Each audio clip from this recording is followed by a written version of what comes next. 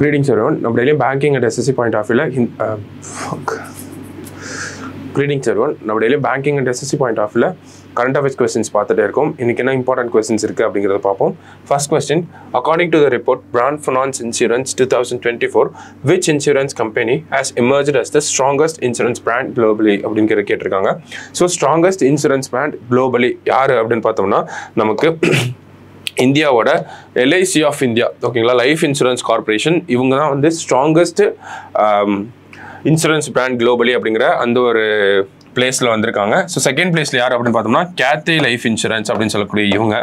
Third பிளேஸில் என்ஆர்எம்ஏ life insurance இவங்க தான் வந்து தேர்ட் பிளேஸில் வந்து இருக்காங்க ஃபர்ஸ்ட் பிளேஸில் தான் நம்ம LIC of India I mean LIC வந்து இருக்காங்க. Life insurance corporation of India அடுத்தது Afanasy Nikitin Simon recently seen in the news lies in which one of the following oceans அப்படிங்கிற கேட்டிருக்காங்க. ஸோ எங்கே அப்படின்னு பார்த்தோம்னா இந்தியன் ஓஷனில் தான் இருக்காங்க. ஓகேங்களா ஸோ அர இந்தியன் ஓஷன் பார்டர்லேருந்து ஒரு த்ரீ தௌசண்ட் ஐ மீன் இந்தியாவோட பார்டர்லேருந்து ஒரு த்ரீ தௌசண்ட் கிலோமீட்டர் தள்ளி இருக்காங்க. எக்ஸாக்ட்லி ஸ்ரீலங்காவுக்கு கொஞ்சம் கீழே இருப்பாங்க. சரிங்களா? ஸோ இந்த அஃபான்சே நிக்கிட்டின் சீமௌண்ட் அப்படிங்கிற இந்த பிளேஸில் நம்ம எக்ஸ்ப்ளோரேஷன் ரைட்ஸ் அப்படிங்கிறத வாங்க போகிறோம் யார்கிட்ட இதுக்கான அப்ளிகேஷன் சப்மிட் பண்ணியிருக்கோம்னா இன்டர்நேஷனல் சி பெட் அத்தாரிட்டி இவங்க கிட்ட நம்ம ஒரு அப்ளிகேஷன் சப்மிட் பண்ணியிருக்கோம் ஓகேவா ஸோ எதுக்காக அப்படின்னு பார்த்தோம்னா இந்த இடத்துல கோபால்ட் அப்படிங்கிற மினரல் வந்து அதிகமாக இருக்குது ஒரு கோபால்ட் ரிச் பிளேஸாக இருக்கு. அதனால இந்த கோபால்ட்டை நம்ம எக்ஸ்ப்ளோர் பண்ணணும்.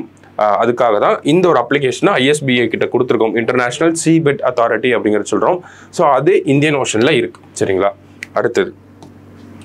Which Gulf country will participate in the Miss Universe pageant for the first time அப்படிங்கிற கேட்டிருக்காங்க.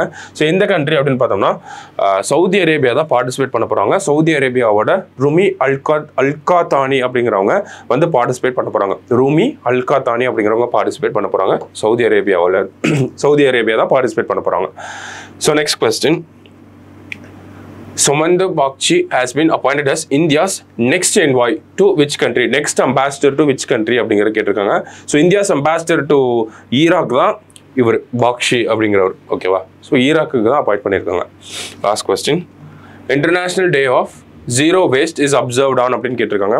ஸோ எப்போ அப்படின்னு பார்த்தோம்னா மார்ச் தேர்ட்டி ஸோ இதை பேஸ் பண்ணி ஃபுட் வேஸ்ட் இண்டெக்ஸ் அப்படிங்கிற ஒரு ரிப்போர்ட் வந்திருக்கு. ஓகேங்களா ஃபுட் வேஸ்ட் ரிலேட்டடாக ஒரு ரிப்போர்ட் வந்திருக்கு. யார் ரிலீஸ் பண்ணியிருக்காங்க அப்படின்னா uh, யுனைடெட் நேஷன்ஸ் வந்து ரிலீஸ் பண்ணியிருக்காங்க ஸோ இந்த ரிப்போர்ட்டை பேஸ் பண்ணி பார்க்குறப்ப டூ தௌசண்ட் டுவெண்ட்டி டூ அப்படிங்கிற இந்த இயருக்கு தான் ரிப்போர்ட் அப்படிங்கிறது வந்திருக்கு. ஸோ இந்த டூ தௌசண்ட் டுவெண்ட்டி டூவில் வேர்ல்டோட ஆவரேஜாக one point zero five billion tons of ஃபுட்டை வந்து உலகத்தில் இருக்கவங்க வேஸ்ட் பண்ணியிருக்காங்க அப்படிங்கிற இந்த ரிப்போர்ட்டை வந்து கொடுத்துருக்காங்க. One point zero five billion tons of ஃபுட்டை வந்து வேஸ்ட் பண்ணியிருக்கோம் ஓகேவா ஸோ அது எதுக்காக வந்திருக்கு அப்படின்னா international day of zero waste அதை பேஸ் பண்ணி தான் வந்திருக்கு.